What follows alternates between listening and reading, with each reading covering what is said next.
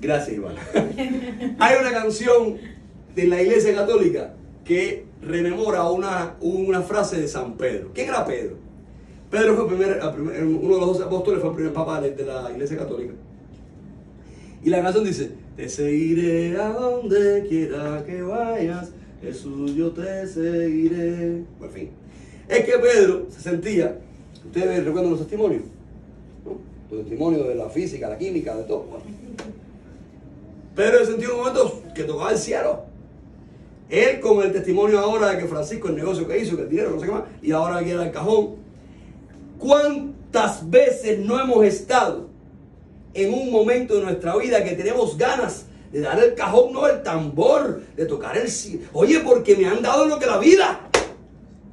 Y en ese momento tú quieres dar un tambor, un cajón, poner un rama flores y no sé, y hablas y lo cuentas y lo cuentas. Ojalá hayan tenido esa experiencia a nivel espiritual, a nivel religioso.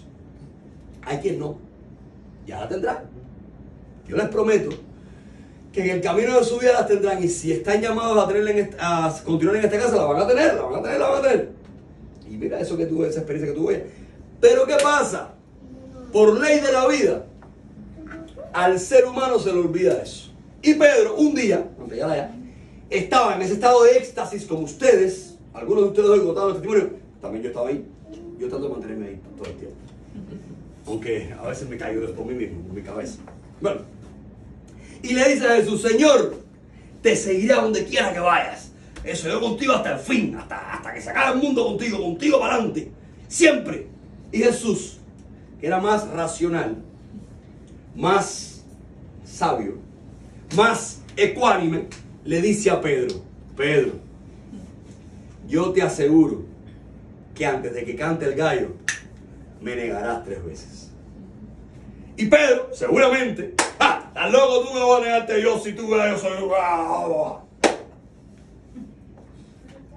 Es que, es que también está la humanidad. Y el pueblo de Israel llega a la orilla del Mar Rojo, viene perseguido por, los, por el faraón y el ejército del faraón, de los egipcios, y Aarón, el hermano de Moisés, saca el bastón que Dios le dio, toca el Mar Rojo, se abre el mar en dos partes, el pueblo de Israel pasa, llegan al lado allá, a la península arábico-pérsica, se liberan de los egipcios cuando ellos entran al mar, se cierran las dos compuertas y quedan envueltos y aquello se conoce como la, se conoce como la Pascua judía, el paso por el Mar Rojo. Y ellos, la hermana de Moisés hizo un cántico de alabanza que está ahí en el libro del Éxodo, un cántico de alabanza agradeciendo a Dios aquel paso, aquella liberación de Egipto. Fueron libres.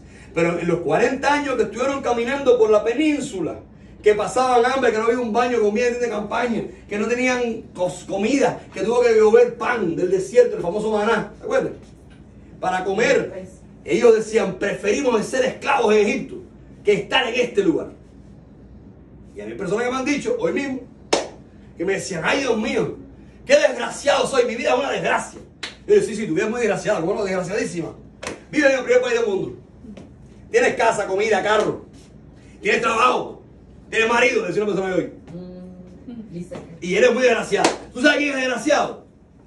¿Tú sabes quién es desgraciada? La que está en Baracoa, o en Santiago de Cuba, o ahora mismo ahí en Cocosolo, o en Mantilla. Esa es la que es una desgraciada. Que no tiene dónde caerse muerta la pobre, que se le moja la casa. Que tiene que inventar para darle comer a los hijos. Y así todo está luchando a ver cómo se va para Uruguay, no sé. Y de ahí caminar para llegar aquí. Fíjate. La fuerza del ser humano, y uno aquí y mucha gente, no se da cuenta de lo que tienen. Bueno, el caso es que Pedro, en ese momento de éxtasis, le dice al Señor, te seguiré a donde quiera que vayas. Jesús, que era más sabio, le dice, te aseguro que antes de que te me negarás tres veces. me negarás tres veces. Pasan los días, Jesús cae en el huerto de Hexemaní, lo toman preso. Cuando lo cogen preso, voy a editar, cuando lo cogen preso, ya empiezan a señalar, a circular a los que andaban con él. Y todos se dispersan, los apóstoles corren, huyen, se dispersan porque iban a caer por la misma edad, se jodió el proyecto. Imagínate, ellos, yo dudaba, un hombre que cura enfermo, tres años en ese proceso. Un hombre que multiplica los panes y los peces.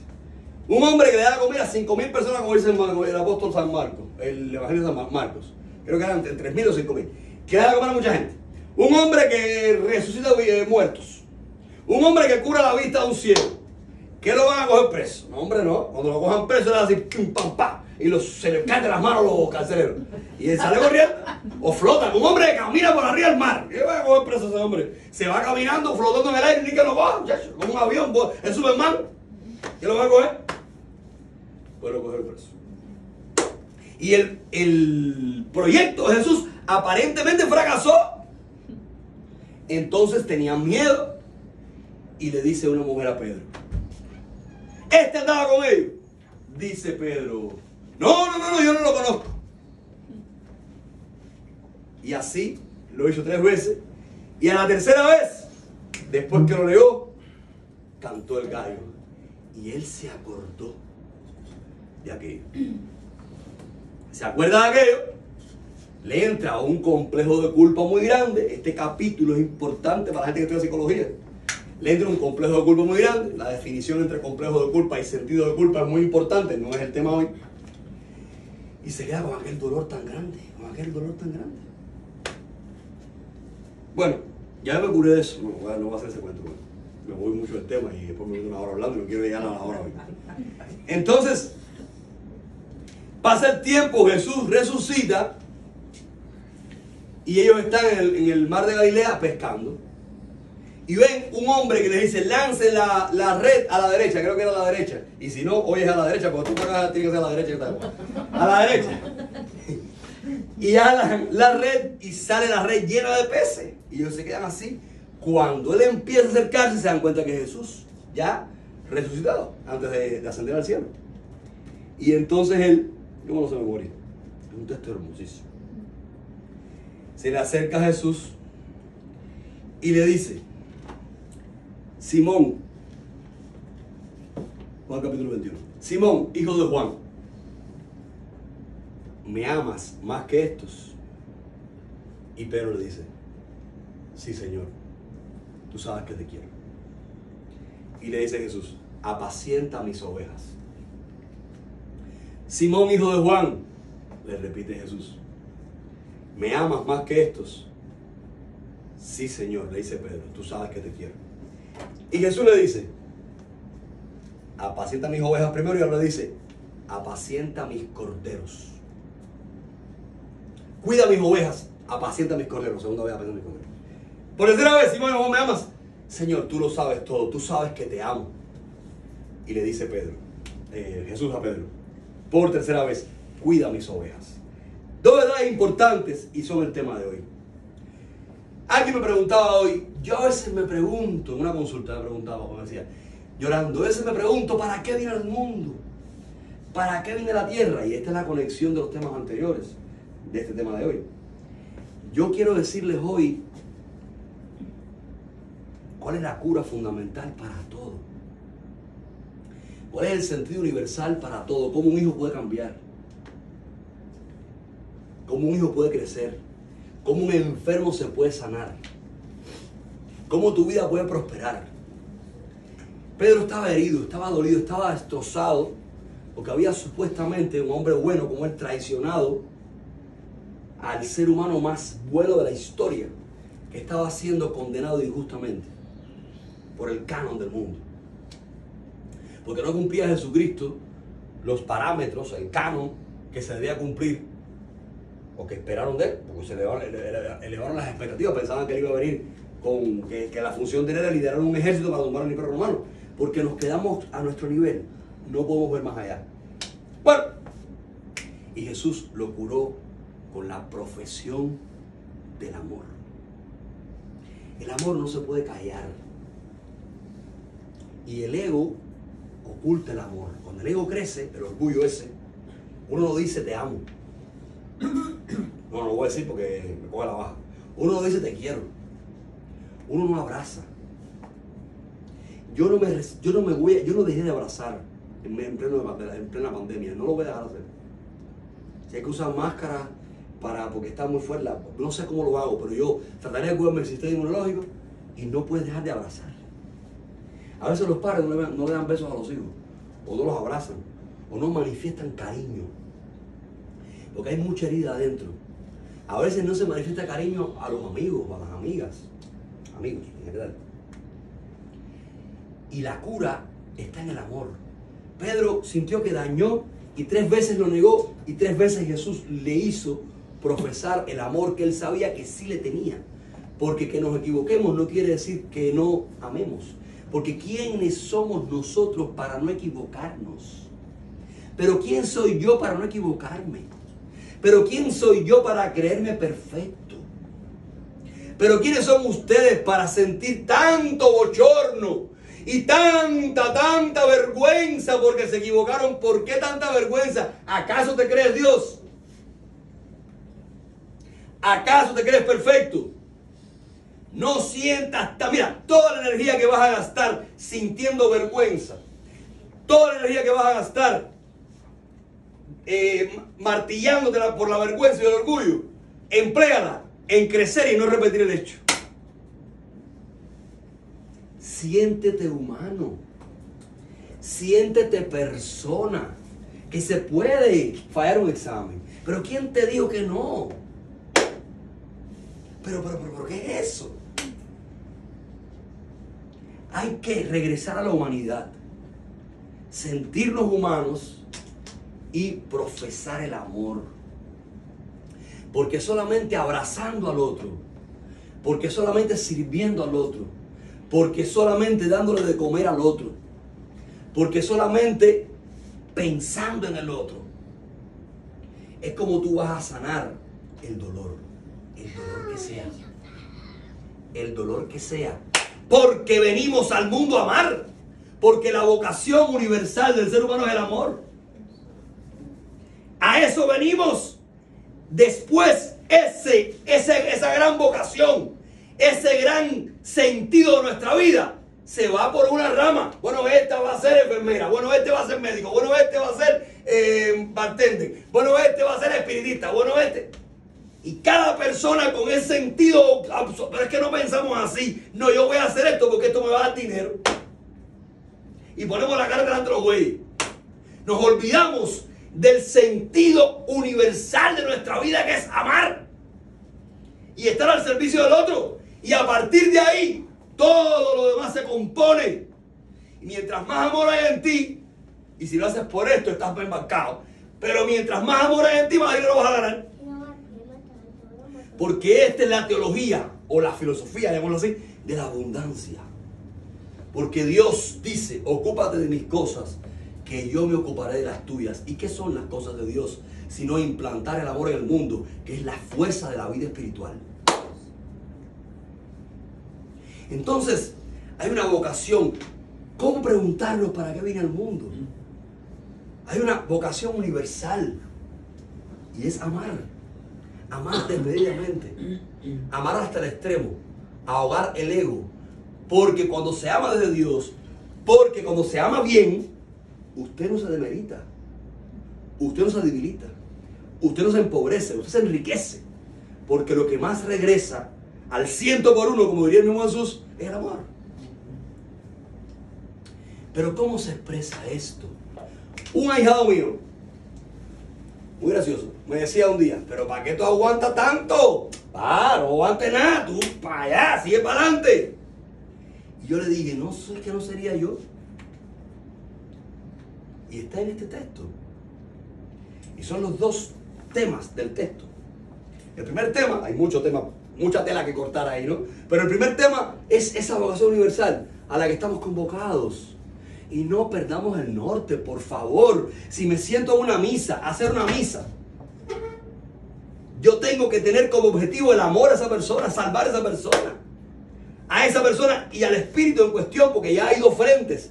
El espíritu y la persona y el espíritu encarnado en cuestión.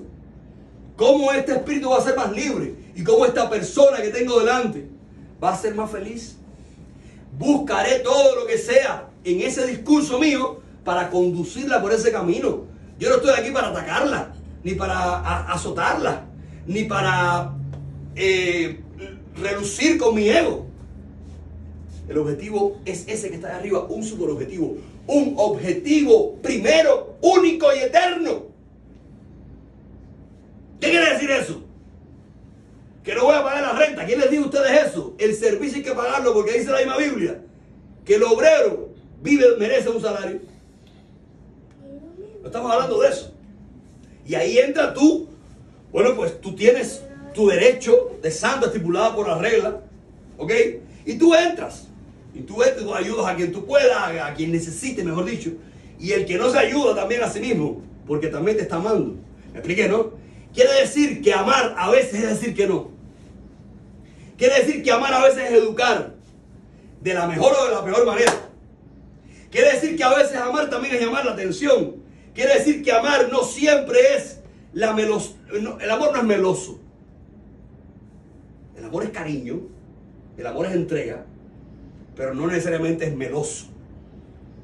Esas son otras interpretaciones del amor o otras vertientes por las que uno se va, o, o también enfermedades que se confunden con la palabra amor, que es totalmente diferente. El amor es incondicional. El amor no es por algo, es porque tú optaste por ese camino. Es porque tú entiendes que de verdad eso va a salvar al mundo. Es porque tú entiendes que eso va a generar la energía suficiente para que tu micromundo se ilumine y se llene de Dios. O se llene de bien, en caso que tú creas en, no en Dios. El amor es eso. Y esa debe ser la vocación universal. Yo creo que deberíamos todos salir de aquí a buscar qué cosa es el amor de verdad. Y entenderlo como vocación universal. Y en cada vocación, en cada cosa que hagamos, en lo que nuestra vida, a lo que vinimos a hacer al mundo, con lo que nos ganamos la vida, en cada cosa que hagamos, y con eso que nos ganamos la vida, poner de esa vocación universal y salvaremos. Y si estoy, estoy de manicure, por ejemplo, y empieza un chisme, bueno, pues yo me callo la boca porque yo no estoy amando, porque estoy pecando con la palabra. Y yo, yo debo empezar, yo me porque no hay, no, hay, no hay lugar más insoportable que una peluquería. Oye, las mujeres con las uñas, las uñas perdónenme las mujeres que tengo una oficina mujeres, que ahorita. Perdónenme, porque esa, esa, oye, por Dios, qué, aburri, qué aburrimiento. Yo a esa clase femenina no fui, porque qué aburrimiento. Estar ahí sentado. Y lo que se oye ustedes, bueno, pues, ¿qué, qué manicure más, más coherente con ese, con ese principio? Bueno, pues bueno, hay que buscar maneras, hay que callarse la boca y no ser partícipe de contar, tirar las, eh, arrancar las tiras a nadie. O sea, entender esto como vocación importante. Pero Jesús hace otra cosa importante. Hay tres veces que profesa Pedro el amor, porque Jesús lo lleva a eso, y dice tres cosas diferentes, o dos diferentes una. Dice, cuida mis ovejas. Segundo punto, apacienta mis corderos. Tercer punto, cuida mis ovejas. Entonces dice Jesús que hay en el pueblo de Dios, hay ovejas que son tranquilas, respetuosas, modositas, que siguen las reglas, están bien educadas. Pero hay corderos hay corderos que se reviran. Que te van a responder. Hay corderos que se les va a ir la Catalina un día. Y te van tal vez. Creo que es de la Y te van tal vez. Ah, bueno, me equivoqué yo. Y te van tal vez a irrespetar hasta eso. ¿Y qué tienes que hacer tú? Votarlos. ¿Y qué tienes que hacer tú? Ah, no, no, no. Ese cordero, Jesús dice, apacienta mis corderos. Tú vas a hacer todo lo posible por ese hermano que tienes, que es un cordero. El sobrino, la sobrina, la hermana. El padre a veces, la hija, el hijo. Los hermanos de santos, los ahijados. Dígamelo a mí tú vas a apacentar ese cordero. Tienes que tener recursos, estudio, inteligencia, porque tú eres responsable espiritualmente de esa persona. Y tú vas entonces a decirle lo que está bien y lo que está mal. Si en algún momento ese ahijado, esa hija, ese hermano, esa hermana, si en algún momento es nocivo para ti o nocivo para el grupo, entonces debes alejarte. Yo tengo, por ejemplo, un ejemplo clarito, un caso de una persona que fue bastante nociva en un momento. Porque la gente confunde las cosas. Y, bueno, no voy a hacer la historia muy larga porque es muy, muy, es tan, tan, tan, tan eh, bajita que no hay que hacer el cuento. Y en un momento esa persona que yo decidí definitivamente que no iba a estar más a mi lado, porque una persona nociva que no, que, que ya puede atentar contra ti en todos los sentidos, o contra otras personas, o contra el grupo, ya no sirve. Una naranja podrida, si está podrida realmente y lo compruebas, sácala de la, la caja porque se pone de la mano. Bueno, pasó el tiempo y esa persona tuvo un problema grande. Qué orgullo para mí. No que tuvo un problema, lo que viene ahora. Que terminando una misa de día, me llama por teléfono un, número desconocido. Y yo cuando respondo me dice una voz, no me cuelgue, no me cuelgue, no me cuelgue. Yo sabía quién era. Yo le digo, voy a coger, ¿qué pasó?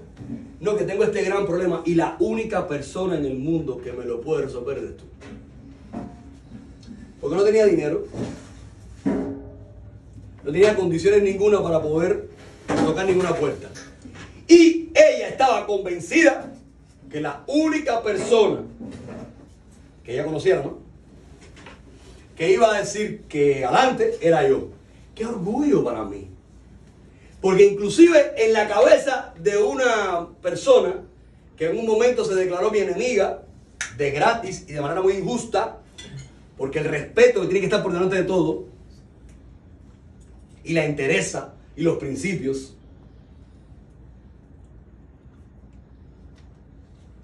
y el agradecimiento me da otra cosa. Pensaba que yo era la única persona que podía ayudarla. O sea, a pesar de todo lo que ella dijo, que dijo bastante cosas feas.